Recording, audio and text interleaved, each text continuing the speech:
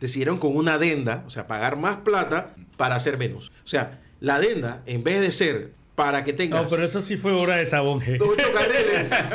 No, y Ahora te lo digo por cuatro. qué. Y te lo digo por qué. Porque yo estuve en el evento donde el Banco Centroamericano de Integración Económica le otorgó el financiamiento para esa obra. Y los ajustes que se hicieron y la contratación de la empresa española que terminó construyendo la obra. en donde si no se tiene al personal dentro de la institución, se contrate un tercero Claro. privado que sea el supervisor de la obra y que sea el que autorice los pagos por avance de obra como eh, ocurre en el sector privado, porque si no efectivamente vemos, como eh, eh, sucede regularmente, que el material no es el útil. Comenzamos con la tertulia de martes aquí en la mañana Ancón. El doctor José Abel Almengor está a mi derecha. ¿Cómo está, José Abel? Muy buenos días, Guillermo, eh, Hitler, Néstor. Un gusto estar con ustedes. como Un gusto, siempre. un gusto, un gusto. El director del Capital Financiero, el periodista Hitler Cigarrista, está a mi izquierda. ¿Cómo está? ¿Qué tal, Guillermo? ¿Qué tal, José Abel, Néstor? Buen día. El abogado y exministro de Estado, don Néstor González. ¿Cómo estás, Néstor? Buenos días, Guillermo, y a los oyentes. No hace falta alguien, ¿eh? Sí. Por ahí debe venir Katy. eh, Viene. Sí, ¿verdad? eh, mm, me imagino. Viene. Me ha dicho que no. Viene. En- en Vamos la a ver. Nos sigue buscando el potato, ¿no? El Potato está correteando a la gente fuertemente. Fuertemente. Hay bastante que repartir, aunque usted no lo crea. ¿eh? Ey, ey, en, en temas de comunicación también hay mucho espacio. ¿ah? Hay muchos espacios y hay muchos espacios que se han creado, tú sabes. Eso es Se nos fue otra de aquí. No. Se nos fue otro de aquí. Al Potato. Dios mío. Sí, sí, sí. Pasa que no lo puedo decir en voz alta, pero ya se fue. ¿Se hasta dónde está? Ahora fuera ¿Dónde del va a estar? micrófono nos comenta. Claro, claro, de una vez. Dice Oye, Katy- hablando de fuera dice del Katy que micrófono. está llegando, nos está escuchando. Di- sí, más vale, porque, Estamos, no, porque estamos- todo el que no viene está, Estamos asustados ya. en el Potato. Yo te estoy, le estoy contando que eh, la semana, el viernes fue, el viernes fue que nos dijeron. El viernes. Eh, que aquí se fue al Potato sin escalas. ¿Cómo? Ya. sí. Primero viene Pim, una pam. excusa de, de le, un día. le dijeron, ¿qué estás haciendo? No, que en Radio No, no, deja eso, ven antes para acá. Así fue. Y entró al Potato en el mismo centro del Potato. Bueno, yo, yo dije de hace rato, aquí me verás, Guillermo. Bueno, bueno, eso es lo que me gusta. lo Guillermo, me tú no te preocupes, yo voy a estar no, aquí. a toda velocidad. Esa ti- Se está aventando del carro ahí para que no digan que, que está en el potato. Oye, eh, vamos a esperar que suba Catiusca. Si viene con una camisa blanca, me la encontré antes. Tú sabes que antes yo iba saliendo de mi casa y yo un carro igualito a ese. Iba pasando a toda velocidad. Y yo, sí, esa misma. Ah, me la encontré, ¿estás viendo? Me la encontré hace un rato. La, me imagino que iba de busito. Ah, sí, escolar, el busito escolar. De busito. Así nos pasa a todos los padres en la mañana. Oye, hoy a las 10 de la mañana abren el, el embudo, perdón, el, el, el intercambiador. de- No, eh, es un viaducto realmente lo que es un puente mal hecho. un- Viste que, viste, viste- largo. Se están peleando la paternidad, ¿no? Sabonge y Varela. Yo no me pegué a esa paternidad. Yo trataría eso de- empezó en la eh, eso empezó en la administración Martinelli. Todo empezó. El proye- Todo todos empezó. estos proyectos Todo. comenzaron en no me buleen. Buenos días a todos los que nos escuchan en la mañana con. ¿Cómo está? La licenciada Katy Cajul está con nosotros, Juan Guapa es. Buen día, Katy. Oíste, yo, Buenos yo días. tengo- Oye, yo Diego, tómale foto a esto temprano, porque pues, finalmente tenemos la mesa llena a esta hora. Lo- Siempre faltaba uno, no sé qué le pasa. Oye, yo, yo, yo te voy a decir una cosa. Una, una de las cosas que hay que, para mí, le cuesta es reconocer los méritos de otro. O sea, si esta obra se inició, se gestionó, se licitó durante la administración Martinelli, tú tienes que reconocerlo. No, pero espérate, espérate, no es que nadie lo está reconociendo. Es que todo el mundo se está abrogando la paternidad. Sí, pero- pero, yo Pero no eso sé es, por no- qué. es una forma de no reconocerlo. Pero yo no sé por qué, si eso está mal hecho. ¿Por qué hablaste, de embudo, Guillermo? Porque cuando, cuando tú llegas, ¿sabes que eso era una cosa como de 32 kilómetros? Entonces decidieron que no, que lo iban a cortar. Y comenzaron a cortarlo, a cortarlo, y ahora son como 4. Los 32 kilómetros costaban como 60 millones de dólares. Ahora los 4 kilómetros cuestan como 12. Una Yo cosa. creo que eso es menos de 4 kilómetros, Guillermo. No, sí, eso Sí, es no, un, son como, un sí, puentecito. son como 4 o 5 Es kilómetros. un puentecito. Entonces, ¿qué pasa? Claro, como lo tuvieron que recortar, no puede bajar en seis, car- en, en seis carriles, porque entonces, ¿cómo gira? Tendrías que haber construido un carril adicional adelante para que los carros pudieran Exacto. Para irse. entrada, correcto. ¿Qué hicieron? Se ahorraron la plata del carril adicional y decidieron con una adenda, pues, escuchen esto, decidieron con una adenda, o sea, pagar más plata para hacer menos. O sea, la adenda, en vez de ser para que tengas No, pero eso sí fue obra de Sabón G. ocho carriles, No, y Ahora te lo digo por cuatro. qué. Y te lo digo por qué, porque yo estuve en el evento donde el Banco Centroamericano de Integración Económica le otorgó el financiamiento para esa obra. Y los ajustes que se hicieron y la contratación de la empresa española que terminó construyendo la obra se dieron durante la administración de pero la plata, G. la plata para hacerlo todo en su totalidad hasta donde llegaba originalmente, que yo vi los planos, que son públicos, la plata estuvo disponible para el gobierno nacional. Pero no se usó para el puente, se usó un pedacito para el puente. Hitler, te tengo una pregunta, eh, que tú eres el experto en intereses en la mesa, ¿no? Esas obras que se alargan en el tiempo, tienen tres y cuatro periodos, la manera como te la financian al momento cuando te, te dan el contrato, te emiten Sí. el contrato al final, eso no repercute en los montos Sí. cuando se cierra la obra Claro, y por eso se dice hay que adendar y se suben los todo costos de todo. en nuevas adendas. En el caso de esta obra, lo que se hizo fue, hombre, el BCI eh, tomó la obra abandonada y lo que le dijo a la empresa es, de hecho se hizo un nuevo modelo de financiación. Si bien hay un modelo de financiación por eh, fase terminada, en este caso se le dio a la empresa por la primera fase 5 millones de dólares y en la medida en que iba avanzando se le iba dando el resto del dinero. O sea, no sé, porque muchas veces lo que pasa es que se le dice a la, a la empresa, ok, usted busque su financiamiento. Y eso termina saliéndole al Estado muy caro. Mucho más caro. Entonces, ¿por qué? Precisamente por eso, porque la empresa dice, ok, está bien, yo busco mi financiamiento y voy alargando los plazos y voy entregando. O sea, aquí en Panamá tenemos un problema adicional con esto de las obras, es que no tenemos gente que, project management, que vaya vigilando cada obra. Por o sea, el Ministerio de Obras Públicas no se da abasto con la cantidad de obras que tienen ejecutándose y por tanto no se da abasto en la revisión de, mira, aquí, por ejemplo, el tipo de varilla, el tipo de concreto, la arena, la piedra, La calidad, la de todos calidad de todos esos materiales, sí, porque si yo pido un- un- una varilla de acero de 12 centímetros, o, sea, eh, eh, de- o de un grosor de, de punto .5, no es lo mismo que una de 1.5. Y, y muchas veces estas obras, por eso es que se deterioran tan rápido. Porque como no hay nadie vigilando ni supervisando, se usan materiales de menor calidad a los que se, pus- se, se establecieron en la ¿de qué licitación. obra estás hablando? De todas. todas. Todas. Ah, bueno, que por eso hice la Pero, pregunta. pero hubo, hubo un, hubo un comentario interesante del presidente de la República la semana pasada, en donde señaló que las próximas obras que se iban a licitar, todas iban a ser diseño Y y, construcción. construcción. Que eso es interesante porque eh, anteriormente se separaba el diseño de la construcción. Entonces el diseño que hacían los arquitectos a veces eh, cuando se iba a hacer la construcción era muy complicado, pero tú, eh, tú señalas algo adicional que es bien importante, que además del diseño y la construcción exista como una supervisión de la ejecución. Ese tema, lo que mencionas tú, es interesante porque, porque definitivamente parece que eso no, no está ocurriendo. Yo sí sé que en, en temas informáticos eh, sí, sí está dándose. Hay empresas como Ayesa que están haciendo ese, ese trabajo en, en algunas áreas específicas eh, de la, lo que es la sistematización del Estado, ¿no?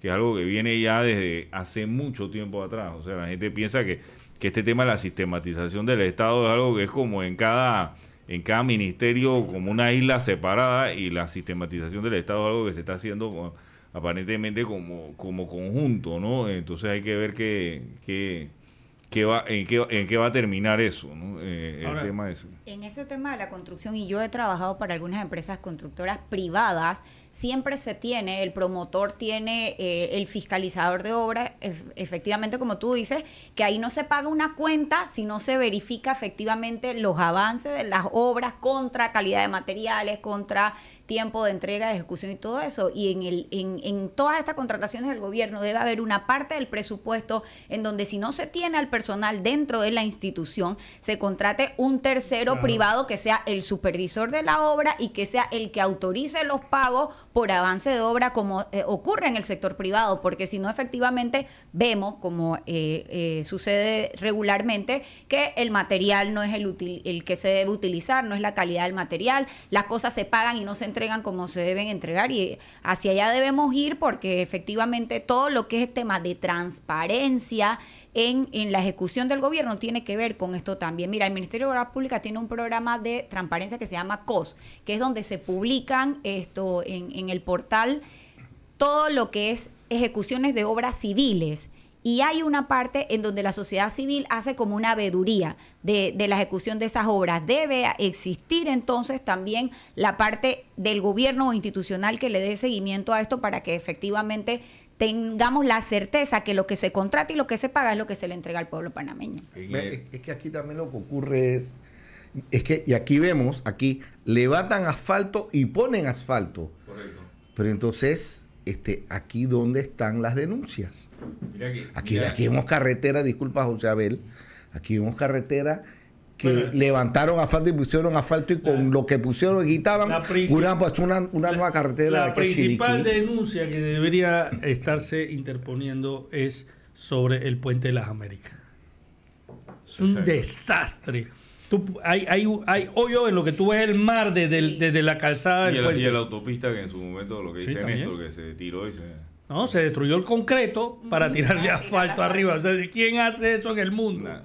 Nadie. Pero mira, eh, es, es interesante el tema que, tocan ustedes porque en los años 70 y 80, el IRRE, eh, cuando se daba la construcción de lo que eran las torres de transmisión, había que hacer unos vaciados de, vaciados de cemento y, el cemento estaba eh, demasiado caliente, incluso había que tirarle hielo para enfriar el, cemento y tirar esos vaciados de concreto.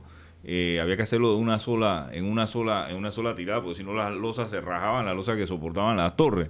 Entonces eh, es interesante porque los inspectores de la institución, los inspectores ahí donde de la, de la institución del IRE tenían que verificar, porque muchas veces la- las compañías eh, privadas intentaban eh, usar material de, menor calidad o algo que pudiese impactar posteriormente en la obra.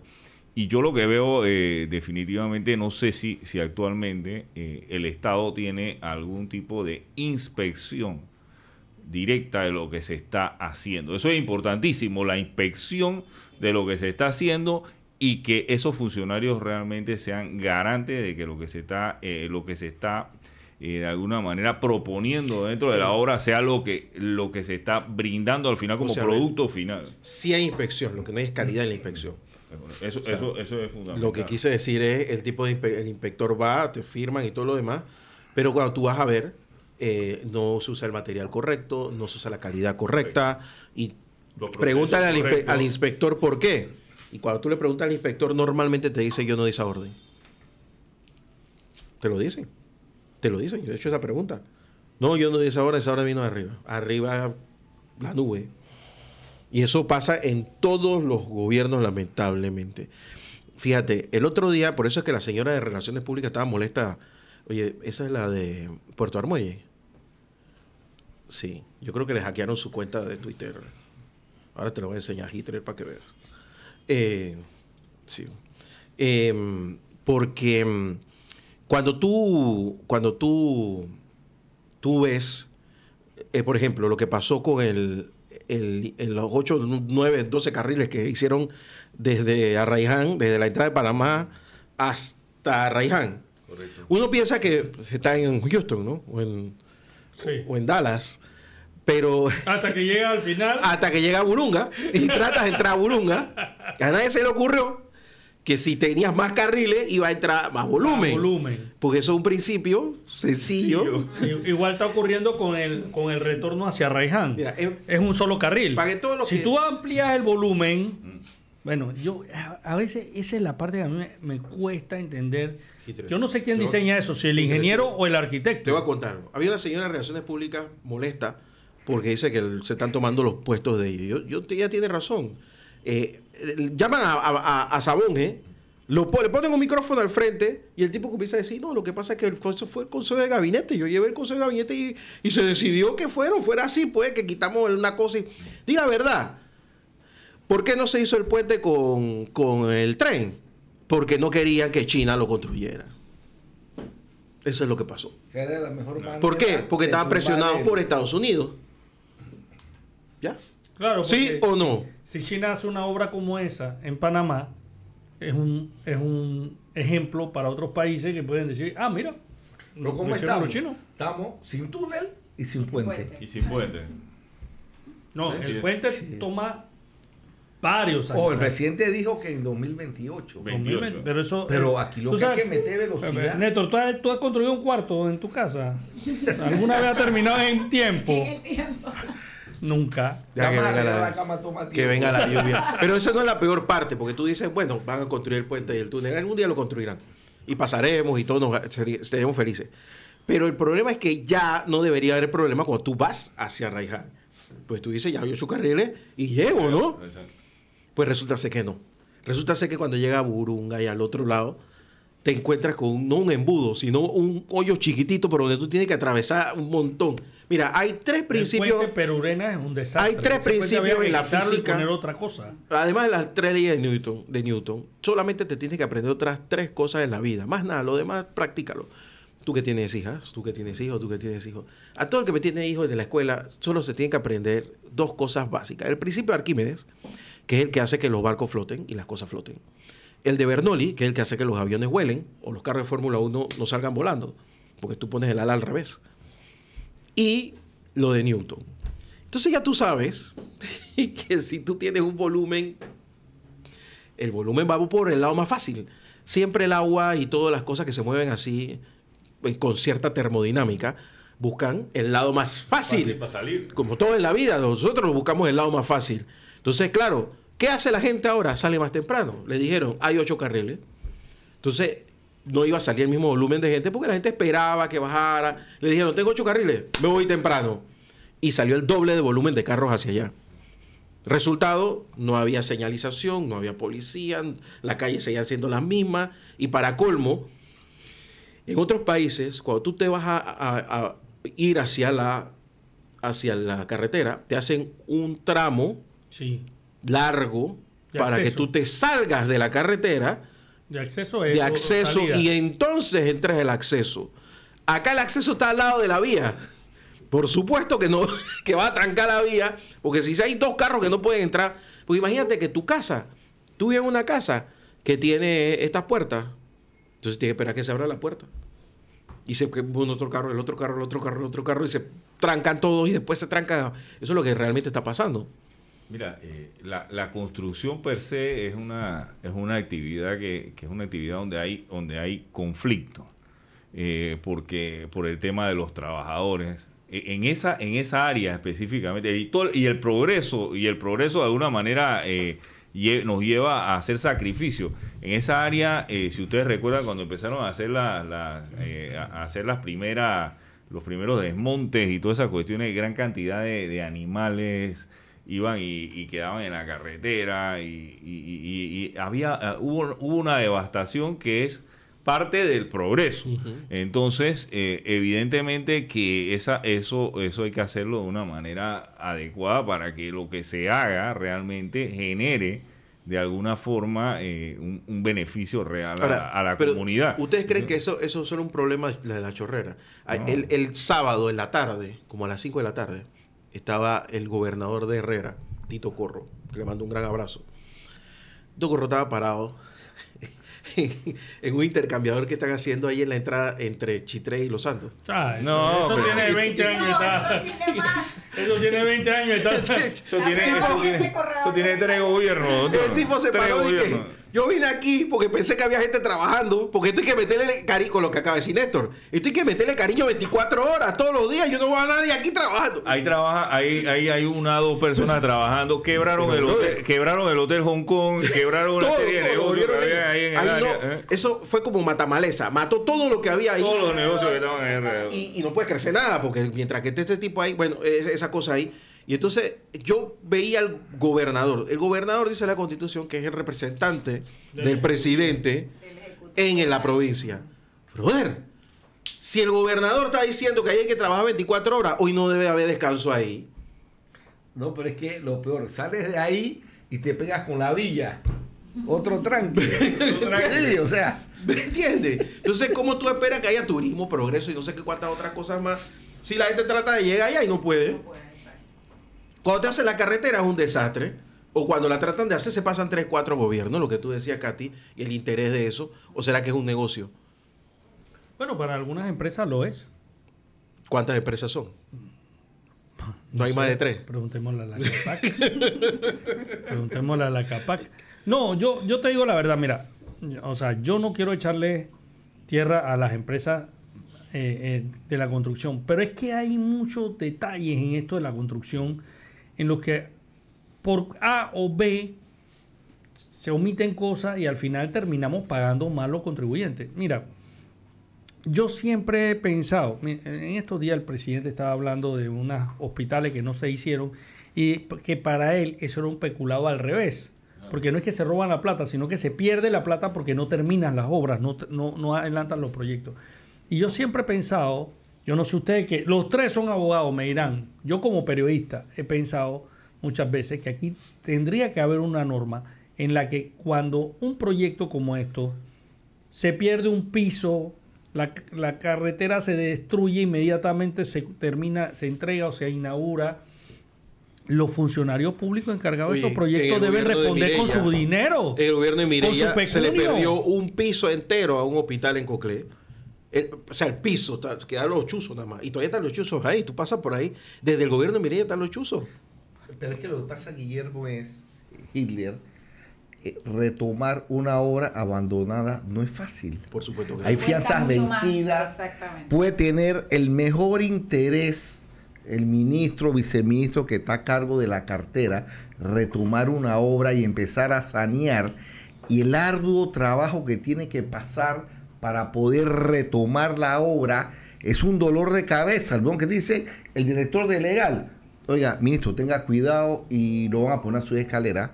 Oiga, que mire que la fianza. O sea, esto no es fácil.